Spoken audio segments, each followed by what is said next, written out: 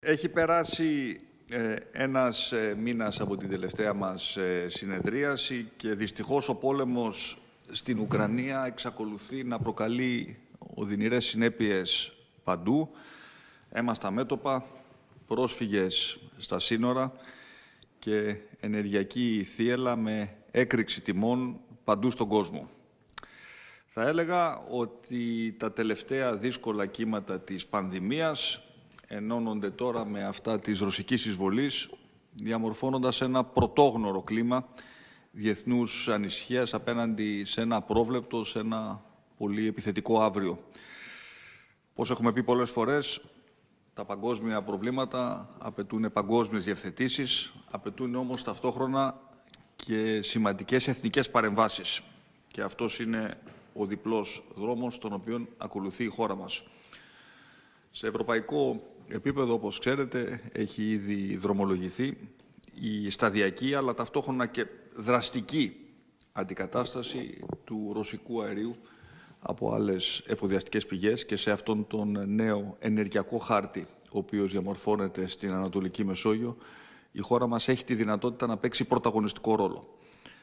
Στο τραπέζι βρίσκεται η ελληνική πρόταση για κοινή προμήθεια και αποθήκευση φυσικού αερίου στο όνομα όλων των κρατών μελών της Ευρωπαϊκής Ένωσης και οι πρώτες αποφάσεις που πάρθηκαν ως προς την συνεννόηση Ευρωπαϊκής Ένωσης και Ηνωμένων Πολιτειών καταδεικνύουν ότι αυτή είναι μια επιλογή που μπορεί να έχει απτά, ουσιαστικά και γρήγορα αποτελέσματα.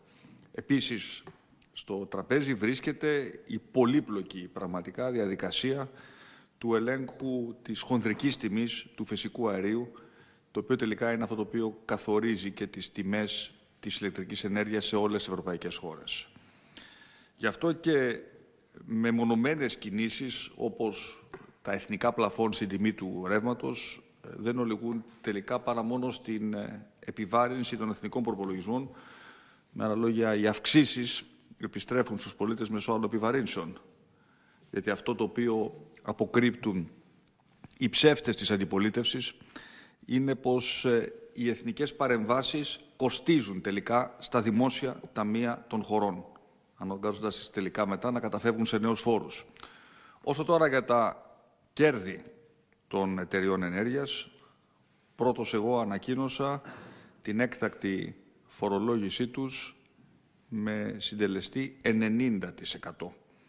Τα ποσά όμως τα οποία θα φορολογηθούν δεν μπορούν να βγαίνουν από το καπέλο του κάθε δημαγωγού, πρέπει πρώτα να υπολογιστούν με σαφήνεια από την ε, ανεξάρτητη ρυθμιστική αρχή, τη ΡΑΕ, και πρέπει να υπολογιστούν σωστά με τα κέρδη, τους φόρους και τις εκτόσεις ε, οι οποίες έχουν δοθεί. Και έτσι ακριβώς θα γίνει. Η κυβέρνησή μας έχει αποδείξει εξάλλου ότι δεν έχει ιδεολογικές αιμονές, δεν ε, διστάζει να δράει υπέρ του πολίτη, και να ρυθμίζει όπου χρειάζεται την ασυδοσία των αγορών. Με αυτόν τον τρόπο σκεφτόμαστε και πράττουμε και ας ευνηδιάζουμε που και που τους πολιτικούς μας αντιπάλους. Με δεδομένες όμως τις ευρωπαϊκές ταχύτητες στην ορίμανση των αποφάσεων κινούμαστε και αυτόνομα.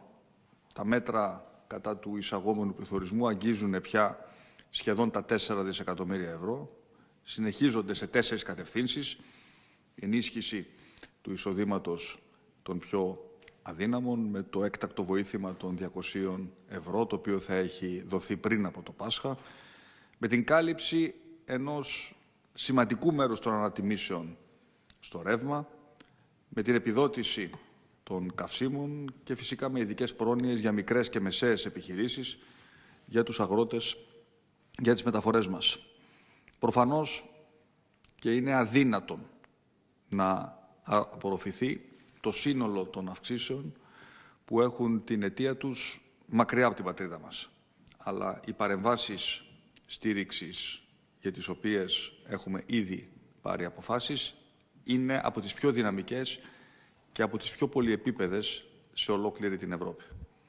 Και σε αυτές θα προσθεθούν και άλλες για την ε, επάρκεια της αγοράς, για κάποιες εισαγωγές από εμπόλεμα κράτη, ε, οι οποίες τώρα θα πρέπει να αναζητηθούν αλλού ή να παραχθούν και εδώ, όπως για παράδειγμα με την καλλιέργεια ηλίανθων για το ηλιέλαιο, το οποίο αυτή τη στιγμή βρίσκεται σε μεγάλη ζήτηση. Θα μπορούσαμε να καλλιεργήσουμε παραπάνω από 300.000 στρέμματα, τα οποία βρίσκονται σε καθεστώς αγρανάπαυσης ε, όπως ε, και για την πρόσθετη στήριξη των παραγωγών μας, ειδικά ως προς τα λοιπάσματα και τις ζωοτροφές. Θα υπάρχουν και σε αυτό το τομέα μέσα στις επόμενες μέρες συγκεκριμένες ανακοινώσεις. Θα δώσω μετά τον λόγο πριν ξεκινήσει η συνεδρίασή μας στον Υπουργό Αγροτικής Ανάπτυξης να μας κάνει μια σύντομη ε, ενημέρωση για τα ζητήματα που αφορούν τον πρωτογενή τομέα.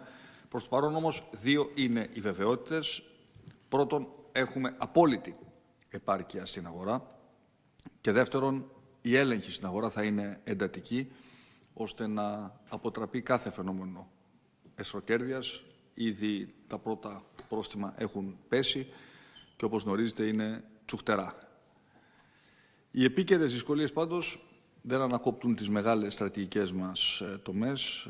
Ε, σήμερα ε, έχουμε μια πιο περιορισμένη ημερήσια διάταξη. Έχουμε όμως ένα πάρα πολύ σημαντικό νομοσχέδιο, ένα νομοσχέδιο για την ε, αναβάθμιση, την ποιοτική ουσιαστική αναβάθμιση των πανεπιστημίων μας. Θα μας το παρουσιάσει σε λίγο ο Υπουργός Παιδείας ε, η Νίκη Κεραμέως. Ε, είναι σημαντικότατες ρυθμίσεις που δίνουν βάρος από τη μία στην ποιότητα των σπουδών και από την άλλη στη σύνδεσή τους με την αγορά εργασίας. Δίνουν βάρος στη συνεργασία των Ιδρυμάτων μεταξύ τους αλλά και με οργανισμούς του εξωτερικού.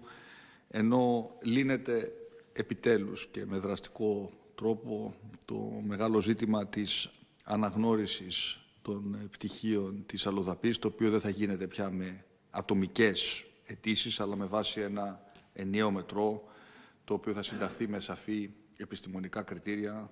Τελειώνει πια ε, οριστικά αυτή η αφόρητη ε, ταλαιπωρία ε, του ΔΟΑΤΑΠ με σημαντικές παρεμβάσεις οι οποίες θα ψηφιστούν σε αυτό το νομοσχέδιο.